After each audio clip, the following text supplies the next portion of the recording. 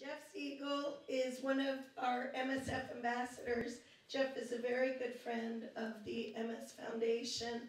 When I first started uh, at the foundation, something called the Biggest Loser, where we were all being motivated to lose weight. And um, there was a sign on the stairs to check off when you walk up the stairs and down the stairs. We had a contest, and he was trying to get us all into shape. And now I'll read the official Jeff um, introduction. Jeff Segal is a personal trainer in Boca Raton, Florida, and a national motivational speaker and presenter. He's a graduate of Florida State University and was diagnosed with MS in 1998. He is an MSF ambassador and works daily with people affected by MS. Jeff was awarded the 2007 Personal Trainer of the Year by the National Strength and Conditioning Association and the Fitness Institute International. Please help me in welcoming Jeff Segal.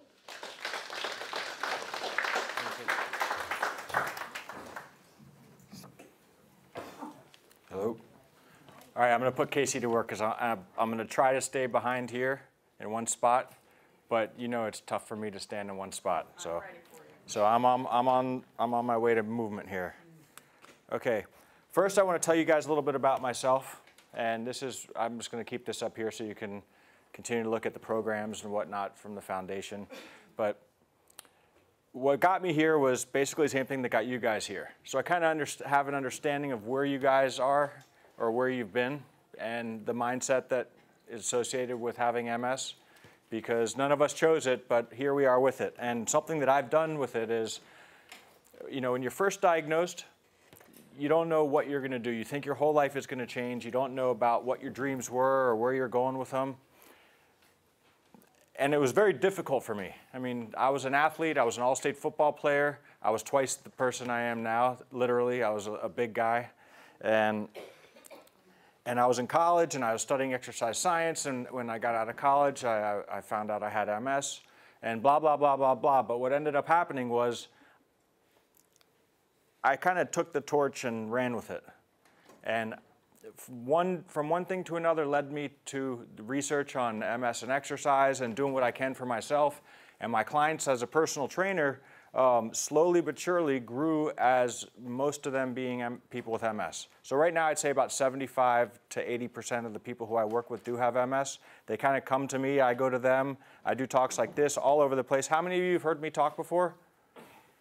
Okay, so if, if you hear something for the second time, uh, don't tell the person next to you what's going to happen because it could be exciting. And if you forget, if you forgot, even better because it'll be like hearing it the first time. Um, let's see. How many of you guys exercise in here? Okay.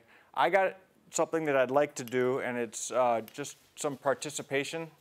And well, first off, always consult a medical, uh, qualified medical professional before beginning an exercise program. Can you guys hear me okay? All right. And what I'm, you can, you can take a look at this, but you guys have heard from doctors um, all over the place, I'm sure. You've gone to programs. You guys are very proactive. You know, you're on a cruise for people with MS. I mean, how much better can this get? You know, usually, usually I got a bunch of people in the room that uh, are barely made it to the room, weren't sure if they were going to come. Weren't, you guys are participants. And as I go with the program, you're going to see life is about participating.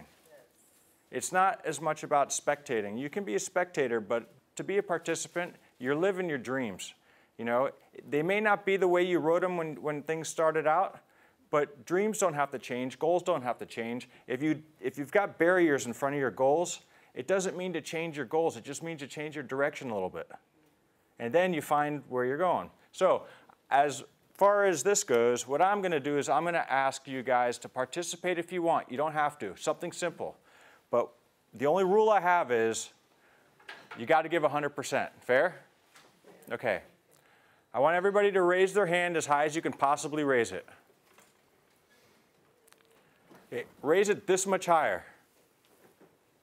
Okay, put your hands down. Wow, this is the first time everybody's put their hands up. And everybody raised it this much higher. This is much more than 100%?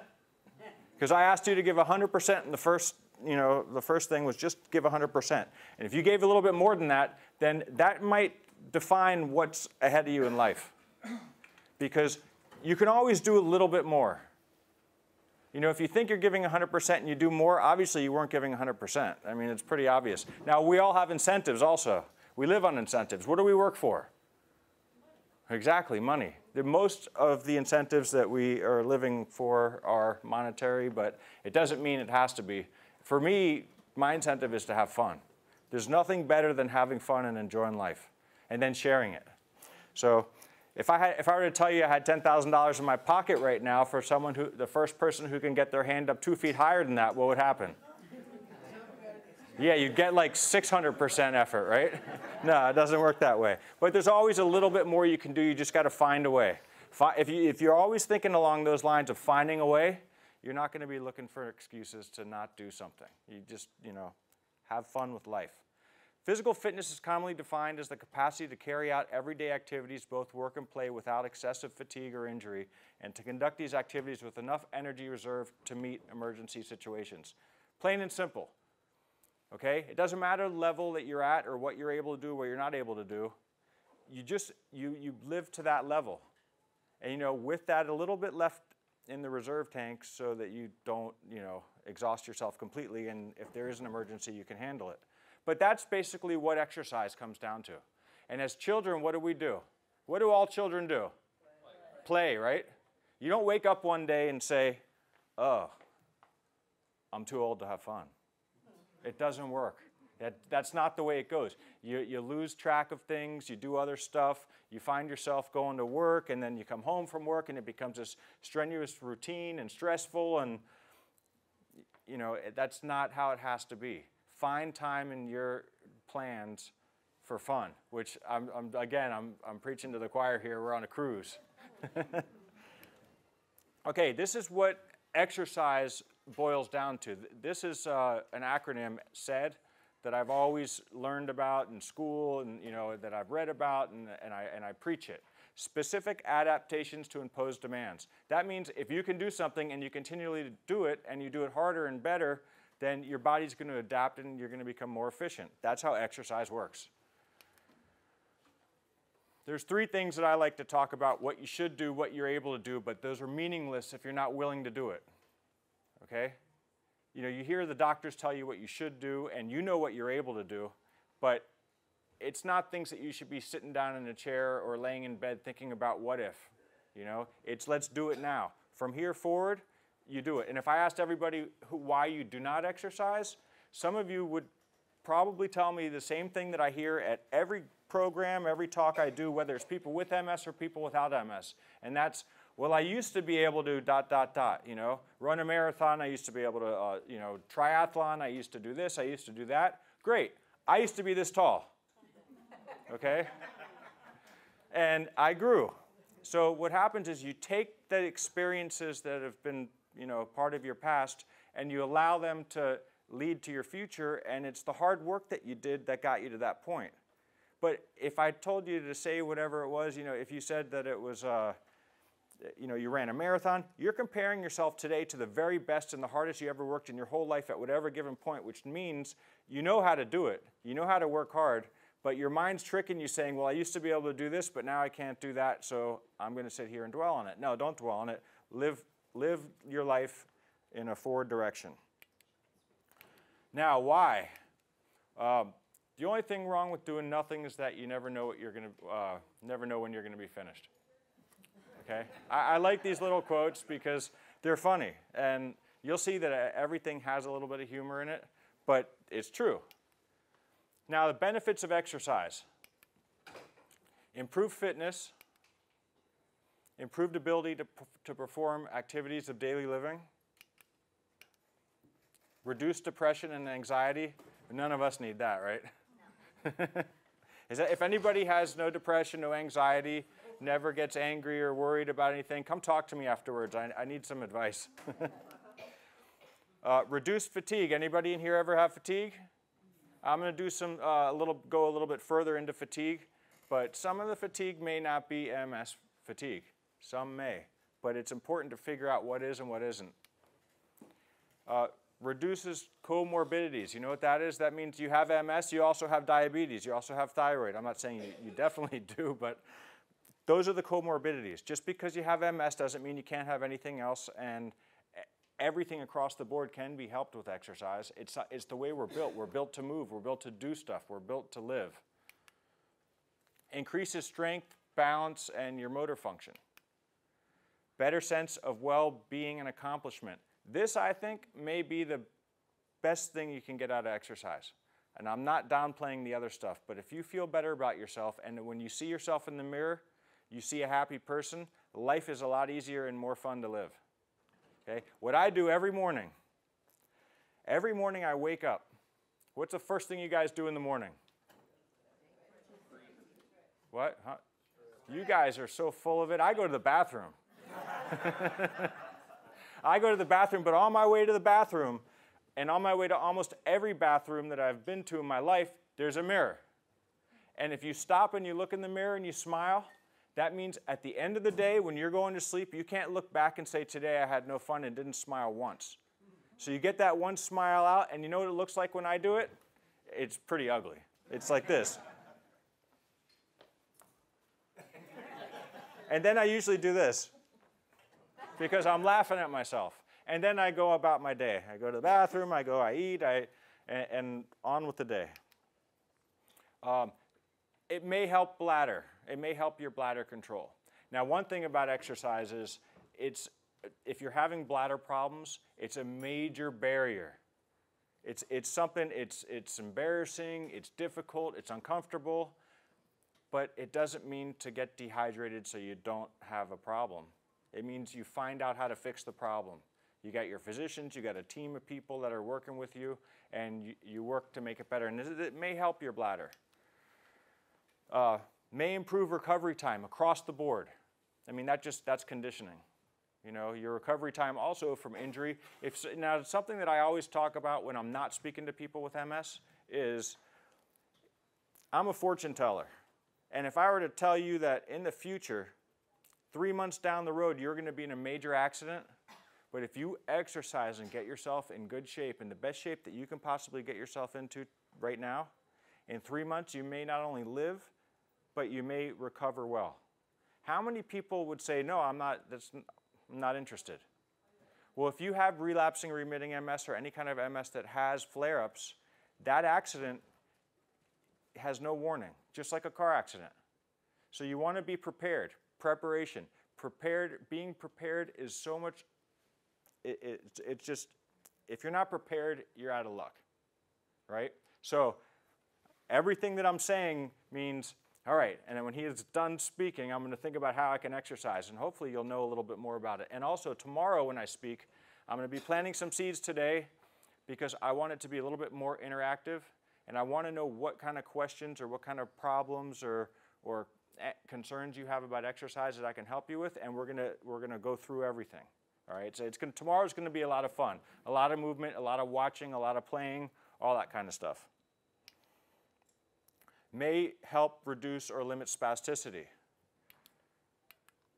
This should be like a big ad, right? All these things. This it may help this, it may help that. Better participation in social activities. That's the, the second uh, the second biggest thing to me is you want to be a participant. You know, I'm going to keep telling you that. You want to be a participant. Life is about participating. And the more you're able to participate, the happier you'll be. And that smile might not be this. Bone strength. Um, plus, your heart gets stronger and it can r- reduce falls. Okay, there's two proteins that may be impro- have improvements or better uh, protective effects for the neurons with MS and the repair, which is the uh, the BDNF, which is the brain-derived neurotrophic factor, and the nerve growth factor. And these things may increase with exercise. May or may not, it's, it's still out there, but hey, it, they're not going to go away because you're exercising. Don't let yesterday take up too much of today. I'm sure nobody in this room does that, right? okay, where can you exercise? When you're exercising indoors, these numbers may sound a little cool, Boy, you guys are from up north, a lot of you. You guys are, uh, these temperatures, that's hot, 66 to 70 degrees. But 66 to 70 degrees is the temperature for exercise for people with MS, according to the American College of Sports Medicine. For the general pop, it's 66 to 74 degrees. So if you're going to join a gym or if you're going somewhere to exercise, that's the numbers where it should be. And if it feels like it's cold, it means you should work a little bit harder. Because if you, anybody in here knows what it's like, when you're exercising, your body heats up, your core temperature rises a little bit, you need to be in a cool environment, you need to be able to sweat, it needs to work, all your systems work better in this, in this uh, temperature.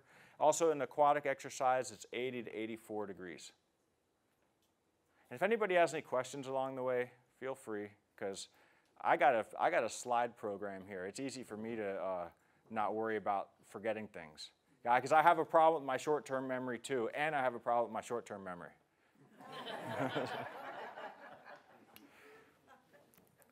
okay, nobody who ever gave their best effort regretted it. You ever given your best and said, uh, I wish I didn't give my best? I wish I would have done a little worse? No. Okay, exercise locations, places that you can exercise in your home, in your gym, pool, temperature, I already told you about that. Um, the park, friend's house, at home in front of the TV. Anybody exercise in front of the television? It's a great thing to do. I have this little bike that you can move around. It's handheld. You can put up on a table. It's like a little ergometer. You can plug it in if you're not if it's not uh, if you're not able to continue going. You just plug it into it. But if you're sitting watching a television show half an hour goes by like that, right? So if you're just moving your legs for a half an hour, hey, you're in. It's great. And, and if you don't, if it's something that you don't feel comfortable with doing, find something else. But the important thing is to find something that works for you. Uh, friend's house, AC, fan, hospital, wellness center. There's so many places that you can exercise. I mean, everywhere you are, there's something that you can do. And for some, exercise could be something just as easy as lifting your shoulders and dropping them. You know, elevation, depression, elevation, depression, something like that, something simple. Now this one I found I thought was hysterical, especially here because here we can make it across the sea just by staring at the water. You know, I've been watching the water. I've, no, I have nothing to do with the ship getting where we're going. Okay, how? I'm often asked how and what the best type of exercise is for MS. What it boils down to is the best exercise for people with MS is what you're willing to do, what you enjoy doing. You can build a program around that. Anybody in here have something that they like to do? I got I got cruises. There you go. And you got to do a lot of moving to get around the cruise. You know, up and down, in and out, wherever you're going. Uh, anybody else have anything you guys like to do? See, this is where I should have uh, some props because I'd like to throw something out there just to get you guys. Actually, I do have one thing. Pick a color. Orange. Purple. Orange, purple. Pick one. Red? Okay. Out of all those colors, I only have the red, so. Who said red? I did. All right, you win the red balloon. You win the red balloon.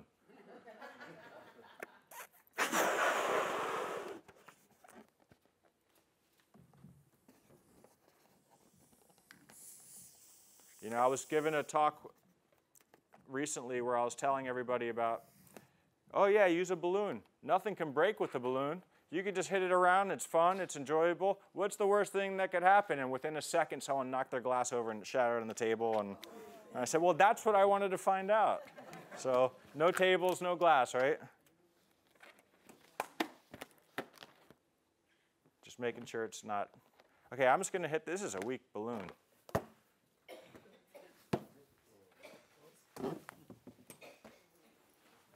Get it out there.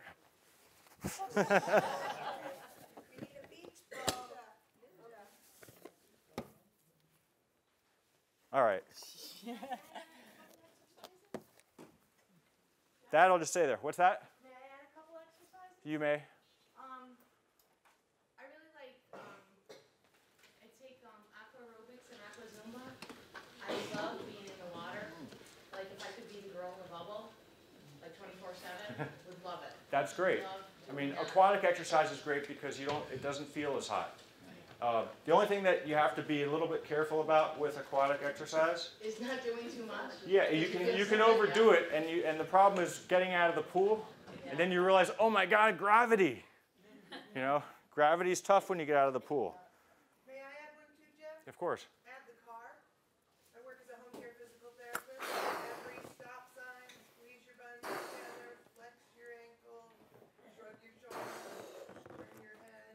Don't plantar flex, or you'll get caught, or you'll get caught for speeding.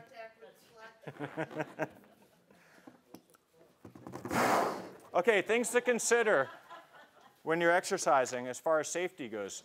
Temperature, stay cool. Lhermitte sign, anybody know what that is? That's that, isn't that that, uh? Touch your chin. It feels like an electric Yeah. Right. So when you're at, when you're at a gym, well, first off, when you're at a doctor's office, the doctor says, "Okay, put your chin to your chest." Sound familiar? All right. And if it doesn't, cognition problems. We all have them. You know, it's okay to have cognitive problems. It is because that way, if you're home relaxing, you can watch Law and Order all the time, and you'll always catch a new episode. Right? You can catch the same episode six times in a row, and it's new. Um, so what happens with Lhermitte sign is, you, can you guys hear me okay without the mic, or would you rather me do it with the mic?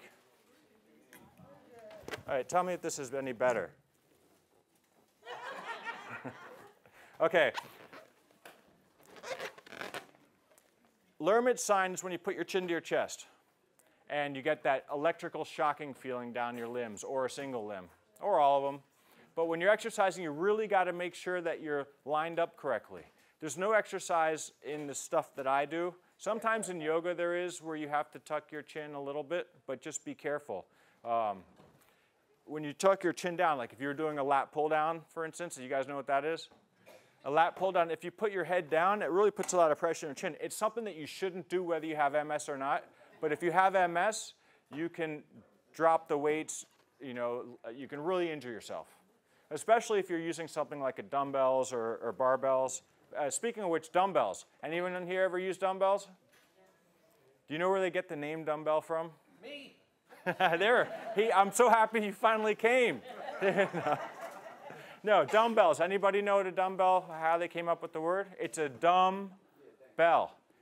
It, hundreds of years, a couple hundred years ago when dumbbells were first started to be uh, beginning use, a bell has the, the thing that hits it, right? Well, when that's not in it anymore, it's a dumbbell. It's no sound. And that's where they came up with the word dumbbell from.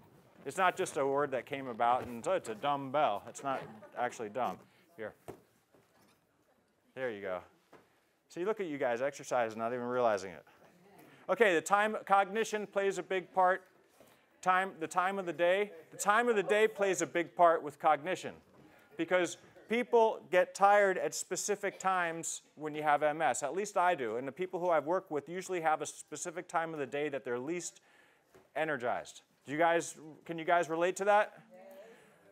Well, so the, the, the solution is don't exercise during that time. you know, if you're tired at noon, do not schedule your exercise time for noon.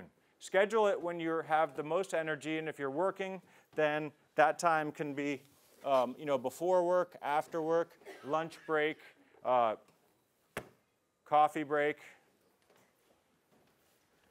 just sneaking out, not telling the boss. Uh, bowel bladder issues, stay hydrated. Uh, ask you what bowl bladder.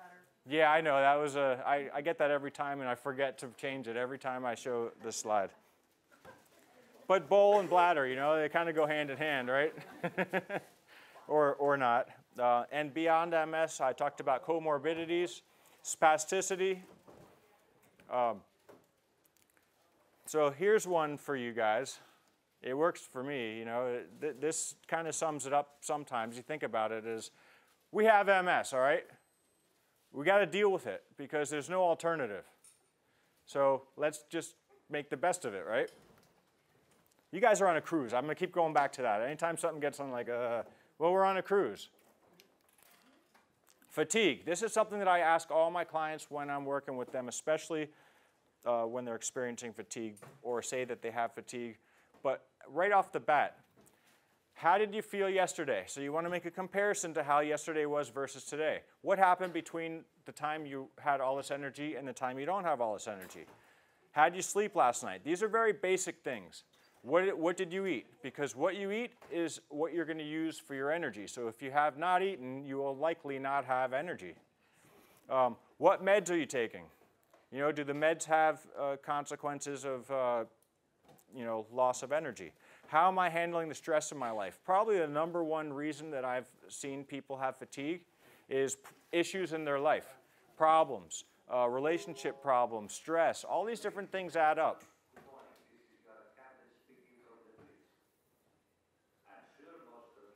He's still our captain. Okay, hot or cold temperatures. Um, that can cause fatigue. Uh, did you overdo it? Did you do something else? And when everything else is wiped out, hey, you're left with MS. So then you deal with that, and that's why you have your physicians and your healthcare team. Now, this is something that um, he, he was from my alma mater. I'm a Seminole. We're national champions. It's great. You know, it's, it's good to say that we haven't been since I was there, and, and uh, I had no, I didn't help him out with that, but I could have. Okay, here are the types of exercise. There's aerobic exercise, and these, uh, there's walking, jogging, bike, swim, elliptical rowing, moving rhythmically. Those can be aerobic. Now, the difference between aerobic and cardiovascular, do you guys know what that is? Most people think, oh, I'm going to do cardio, I'm going to do aerobic. Uh, it's difficult to sustain uh, cardiovascular exercise with MS sometimes because your nerves may not get the message all the way down and they fatigue your, uh, you get local fatigue. You ever see if you're doing something like this, if you're able to stand and, and, and march, this is what happens when nerve conduction slows down. And then eventually it's that, and then it's just that. So there's a way to, to work around that a little bit. If you can do lower body and upper body and lower body and upper body, you can still get a cardiovascular effect, which is sustaining large muscle groups in a rhythmic movement pattern for at least 20 minutes. Uh, I like doing circuit training. Any guys, anyone in here ever done circuits? If you do circuits, upper body, lower body, upper body, lower body, it's shunting your blood and you're getting that cardiovascular effect. Maybe not as much as sustained, but maybe as much, maybe more, depending on the intensity. Um, flexibility, range of motion, uh, that's basically, I, I like to consider that part of every workout, flexibility and range of motion, because your full functional range of motion, if you're going through that, you're also getting flexibility and you're maintaining your joints range of motion. Like, if I had no weight in my hand and I just did this all the time, I'm not, I'm not going to lose this movement. I may not get stronger in it, but I'm not going to lose the movement. Uh, this is getting uh, intense out here. you guys want to do something more than break a glass, don't you? uh, there's, there's many types of flexibility training and, and stretching. Uh, there's isometric, there's active, passive, dynamic, static, ballistic, and assisted, and, and PNF. Jeff, we have a question from the table over here. All right. Uh, can I ask you, um, what your thoughts are, if you, or if you could explain a little bit about, um, therapeutic horseback riding? Yes. Therapeutic horseback riding is great because it does help with a lot of different postural and uh, balance and proprioception. You guys know what proprioception is? Proprioception is your body's ability to know where you are in space. So you've got proprioceptors throughout your body. So that way, if I were to step here and I stepped on a pebble or something, it's going to signal from spot to spot to spot to make sure that I don't turn my ankle. So if you ever were to watch somebody, and if and when you can have proprioception if you're not standing too, because it's a signal coming back and forth. If I were to stand on one leg here, if you see my ankle moving back and forth, that's my body's, you know, just, I'm not telling it to do that. You know, if I start to sway, I'm not thinking, okay, I'm going to turn my hip over here and I'm going to put my, my leg over here and this is going to go back and forth. It's a reaction. It's just the way your body works. Uh, well, that, that's, where, um, that's where that comes into play a lot, what she was saying, horseback riding. And it's fun. I'm not quite sure about the horse, but no, I'm sure the horse likes it. They like it. They get petted. They get fed. They everything. Uh, and, and a lot of people who I work with use uh, use hippotherapy and have tremendous success. Can I point out that scooters are horses too? If you just sit there passively slumped in it and you're not reacting as it's moving over terrain, you're not taking advantage of your scooter. Put your spine up in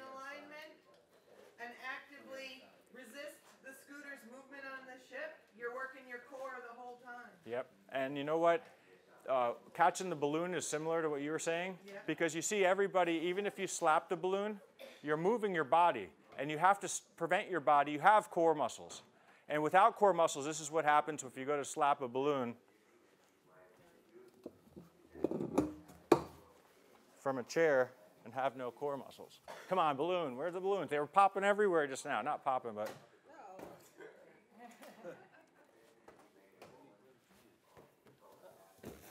Taking them away from us? No.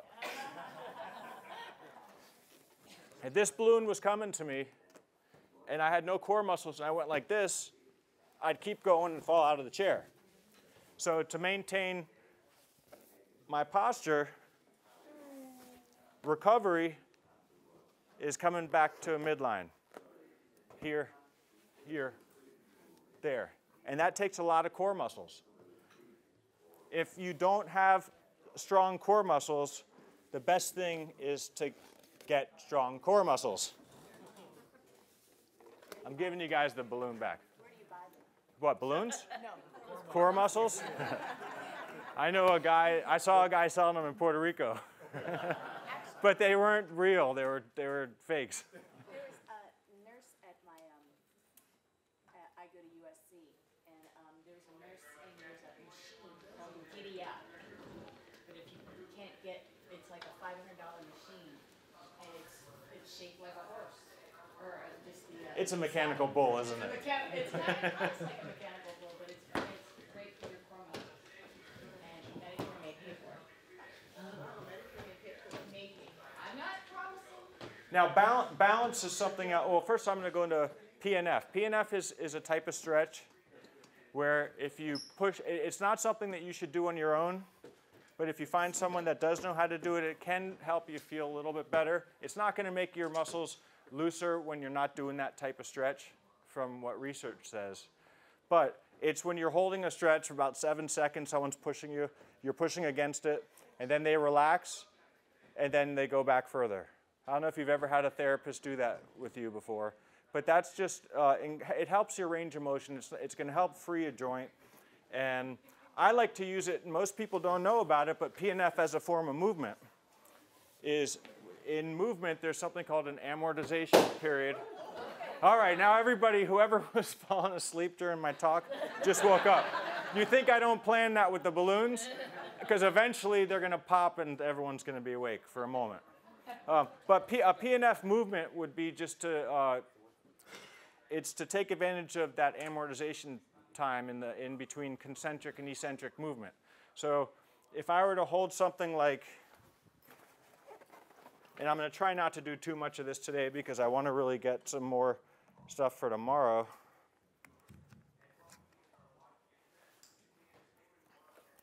Doing a movement like this, when I'm here for that split second, my muscles in between concentric and eccentric. So it's, I'm stopping myself and I'm coming back down. That's using PNF as a movement, or here and here, or doing something like that. Plyometrics is the same thing. When you're doing a plyometric jump, or uh, something with your upper body, whether it be a push. Anybody in here not able to do a squat or a push up? If you can't stand up whatsoever, then you can't do a squat. But if you can just get up out of a chair, that's a squat. And if you're using your arms, it's a modified squat. And if you do it twice, you did two squats. And if you can push something away from your body, you can do a push up. It's just a modified push up. That, that's the only difference. Balance is, wait, let me see something, because I'm checking something for tomorrow. Ooh, they're going to love us tomorrow. I got all kinds of fun stuff in here because tomorrow I'm going to show you how to do things if you think you don't have the right equipment or, or it's too expensive. I'm going to show you some inexpensive ways to be able to exercise at home, and they're, they're a lot of fun. Timing. Now, when you're taking disease modifying treatments, uh, you're taking them so you're doing better, so you'll do better. Is that correct? So don't take them and say, I can't exercise because I take them. Because that's, that's, you know, I don't want to hear it. if you're taking something that's causing you problems for a long enough time to not be able to exercise or not be able to find the time to exercise, talk to your doctor about it. because that is one of the reasons why you would change medicines is if it's if it's hurting your your daily life and daily activities rather than helping them. Um, and you talk that that's part of uh, that's why people don't take meds is because you have problems with them. So you find a medicine that's right for you, you stay with it. That's so important. If the doctors have something that you that they feel you should take and you're taking it and it's helping, stick with it as long as you possibly can. Um, now, as far as your daily exercise goes, uh, how long is it? How long has it been since you took your medicine? If you're taking a medicine that causes fatigue or flu-like symptoms or something like that, it's still helpful for you. But it's not helpful for you to exercise just after you took something that raised your core temperature. So you take it at a different time. You don't eliminate exercise. Please don't. Um, and support. All the medicine companies have great support systems, support uh, you know, there's Active Source, there's Shared Solutions, there's, you name them, they got them. If they don't have them, call Natalie. No, you don't have to call her, but she'd be happy to help you, right? Yes, Anytime, uh, before midnight.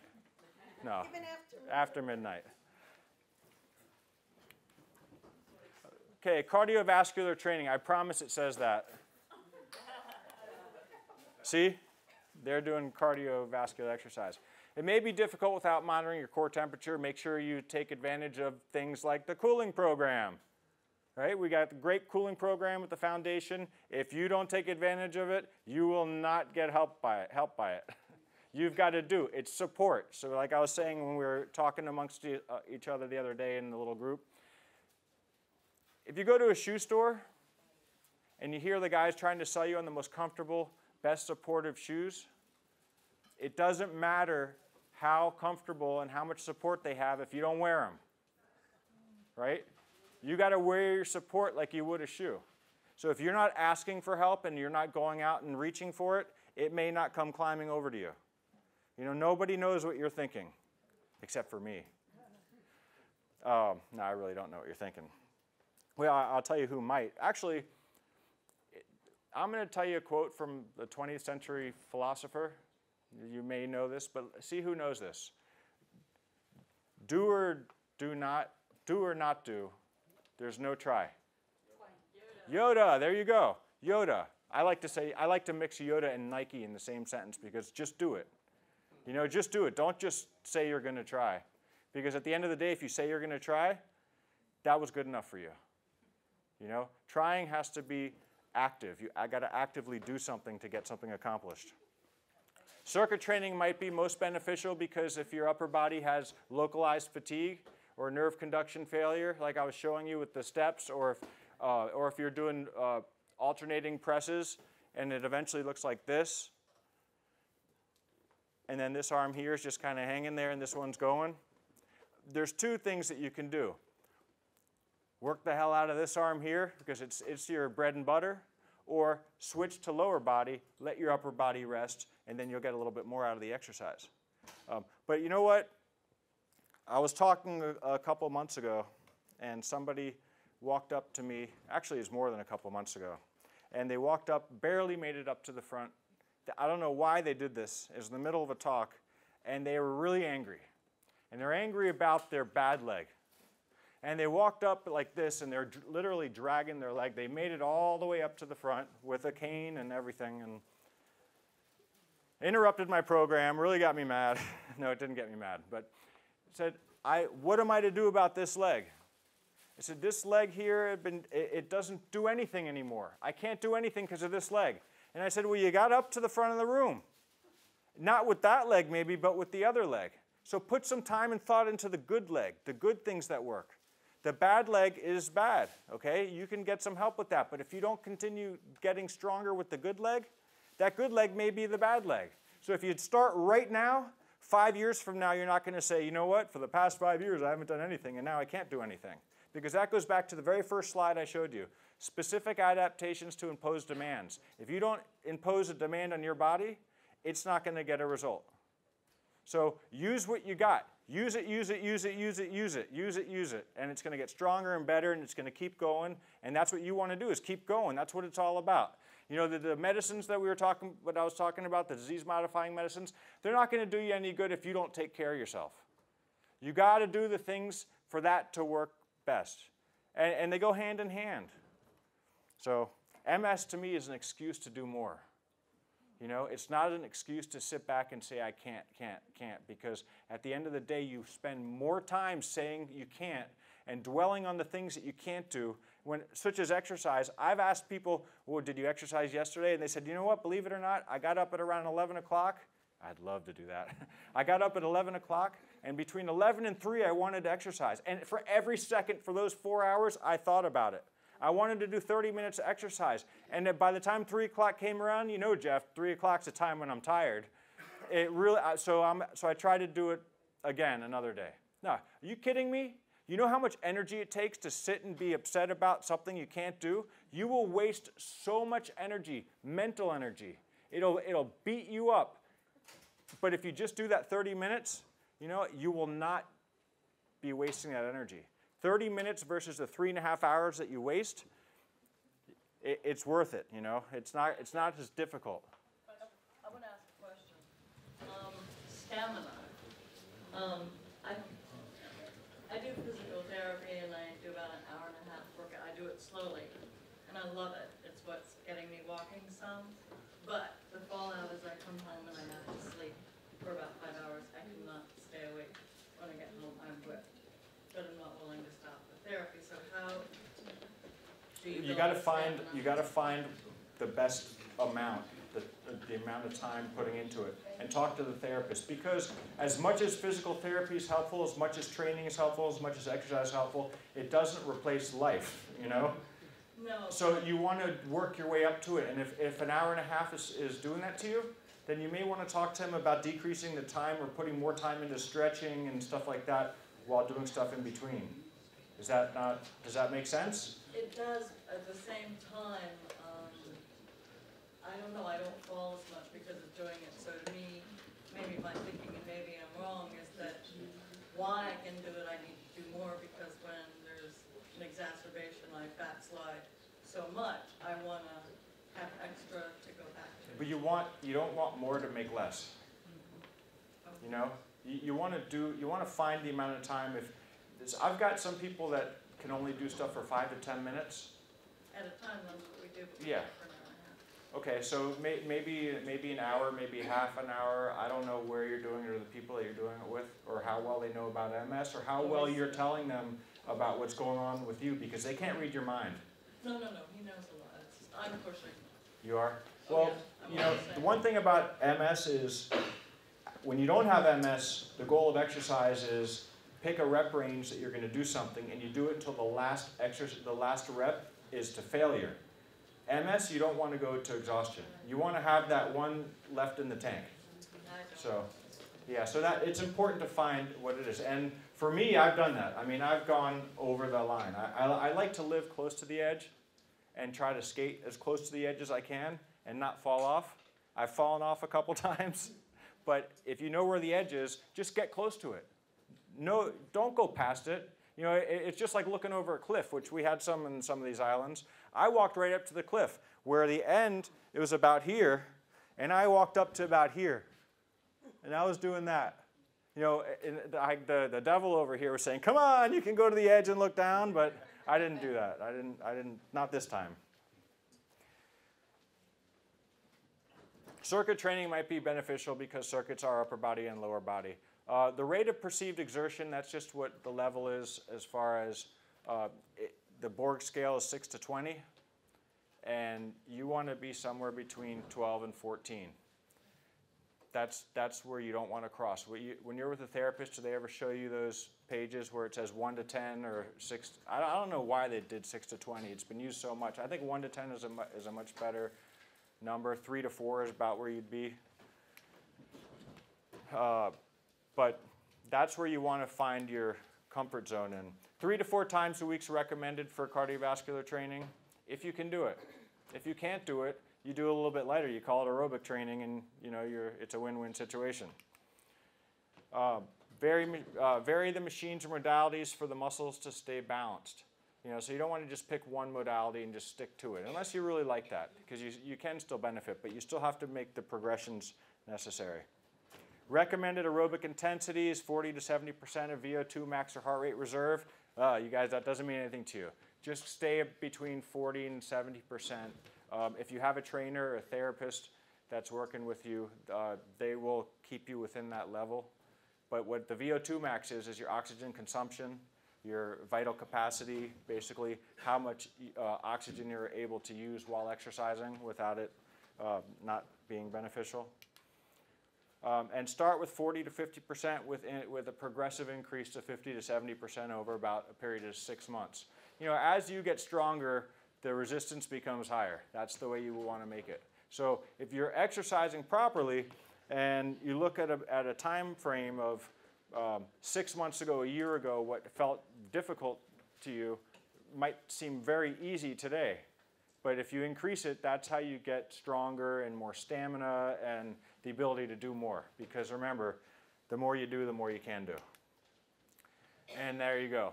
Don't let what, uh, what you cannot do interfere with what you can do. Resistance training, or just training. Two to three times a week, never do the same muscle group two days in a row unless it's in a very low rhythmic uh, manner. Um, I do that with some people. Most people who don't have MS, I can do like a, a leg day and the next day I'd unload the legs. Like I may do a heavy set of squats and lunges and stuff with someone and the next day go to a single legged squat um, just to get that soreness or achiness out a little bit and it, and it may increase the uh, recovery. But I don't, I don't do the same muscle group two days in a row with people. I usually don't work two days in a row with people with MS. Uh, it's ideal to keep your, um, your max at 70% of your max or less when you're working out with MS. Um, that's, this stuff is kind of technical for you, but just remember, don't go to failure. And if you do go to just about failure and you keep one left in the tank, you're still going to you're still going to get the benefits of exercise. You will still get muscle growth. You guys are all awake again. I love it. muscle growth is still there. Uh, increase in stamina is still there. Uh, use exercise that mimic those of daily life or functional. Ever, any, any of you guys hear of functional fitness? It's like this craze. It's just it's it's nothing new. It's basically doing stuff that mimics what your daily activities are or something that you want to do better. If you're a runner, then running would help being a runner. It mean, doesn't mean that you don't do other things as well, some weight training and some other stuff, uh, but something that I've had people, I, I've had people sweep when I'm training them. I wish I could bring them to my house to do it. Um, but what I have them do is, is, is sweep because I want to see the motion that they're doing. And I want to see what, I, what exercises I can prescribe to them that are going to help them in that motion. Or I have some, I had a, I had a 72 year old woman with MS that I'd take her out after she was warmed up and do stuff into the, in the front of her house, and she'd push my car around the block. It was great, especially with the gas prices. but it was great because she loved it. You know, she started out by doing it like I, I, I was joking around with her, and I was working with someone that didn't have MS, a, a student, an athlete, and I had them pushing the car, and then taking a break and pushing the car. And, I, and I'd talk to her about it. And she'd say, I want to give it a shot. So I helped her out and I gave it a little push. And we went about three houses down. And it's the same thing I get from anybody. When you really like doing something, I always hear, okay, can we do more? How about a little bit more? You know, and you gotta, I gotta make sure that they're not overdoing it because they're excited. But pushing a car is fun. It doesn't seem fun, but when you see how far you can get with it, it's, it's, it's fun. So if you guys want to push my car ever, Uh, I got a Pacifica Chrysler with a lot of weights in the trunk in case someone's pushing the car. uh, no 1RM testing for people with MS. I don't do that. That means how much, you know, you ever hear someone say, How much can you bench? how much can you squat? That means how much you can do one time. We don't do that unless we're like really got something stuck on our chest. You know, if, if, if a bunch of weight was stuck on your chest, you'd know how much you can push or how much you couldn't. But that's not important. Single versus multi-joint movements. Uh, some people cannot do multi-joint movements because they've lost coordination or it becomes unsafe. Then you do single joints, and you can work single joints at a time.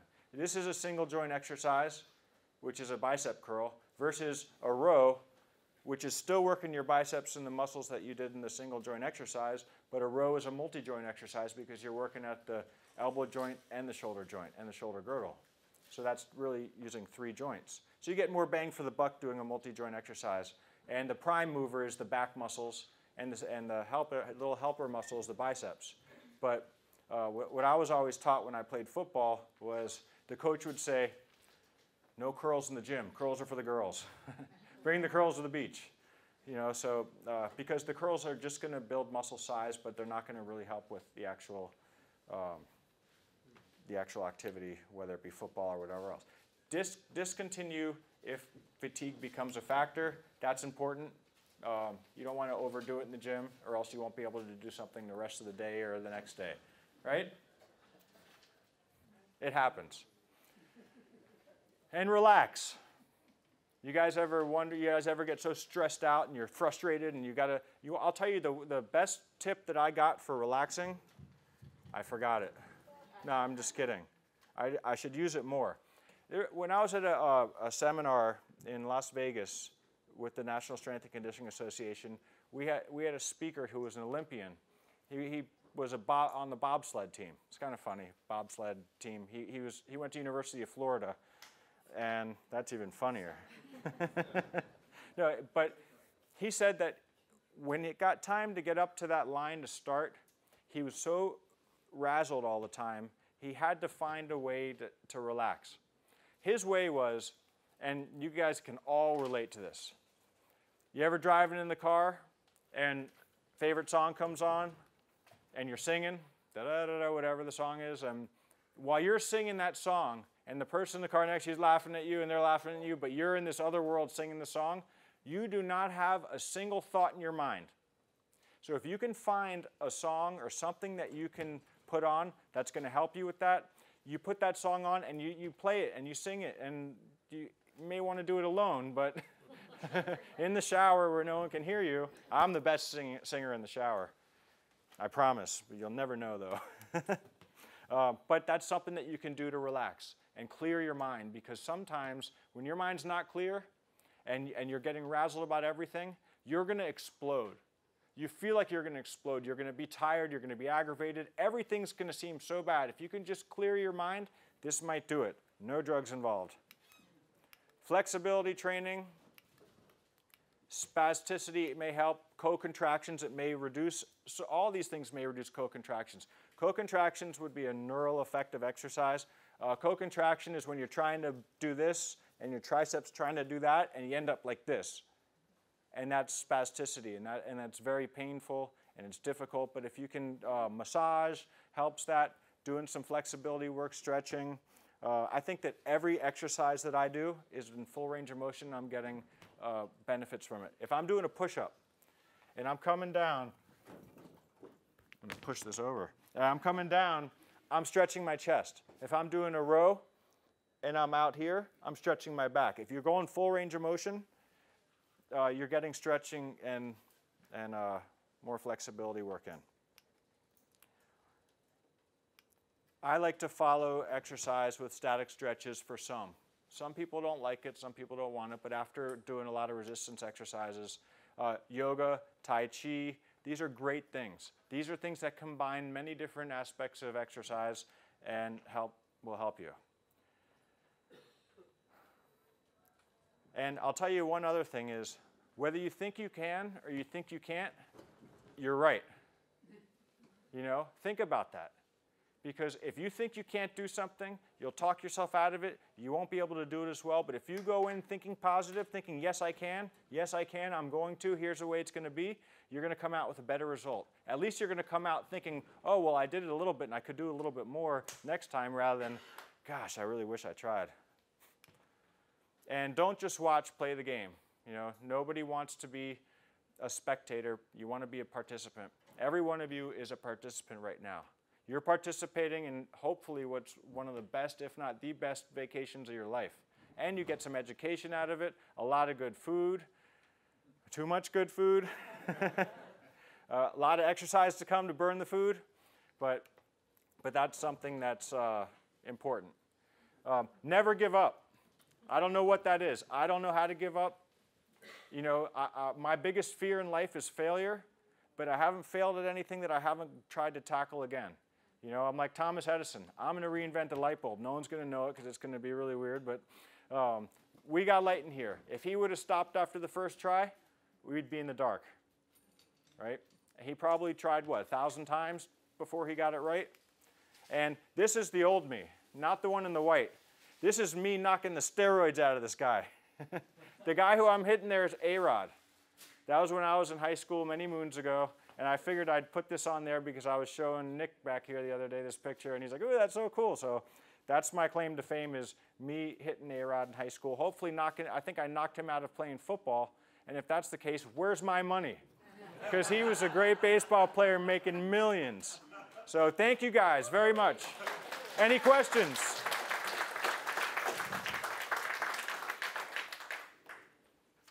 Yes.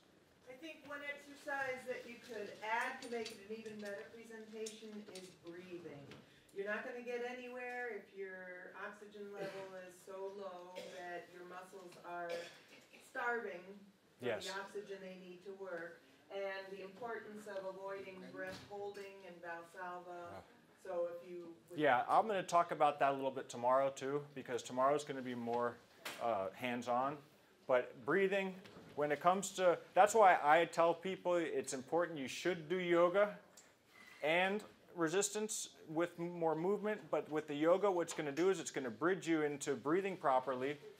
And if you breathe properly, you live properly. If you hold your breath, nothing's going to work out for you. Valsalva maneuver has a very, very, very, very micro fraction of a place in the gym, and that's usually with an Olympian with a major lift that none of us are going to do. And if you do, come on, you got to come on the road with me. You know, we're going to take this trip on the road. I just wanted to add that I think everyone needs to remember to laugh every day and make yourself laugh every day. That Yeah. helps the breathing. Yep. Laughing is part of life. You know what? The, e- everything has a funny side to it if you look at it in the right way. Any other questions? I have one more comment about the six hundred dollar piece of equipment that's ride like a bull. Yeah. For those of you who have electric mobility, you're on your eight hundred dollar bull. Quit slouching in it. I see all these people walk, rolling around with their, Sit on a stability ball for a while. really, everybody can do that.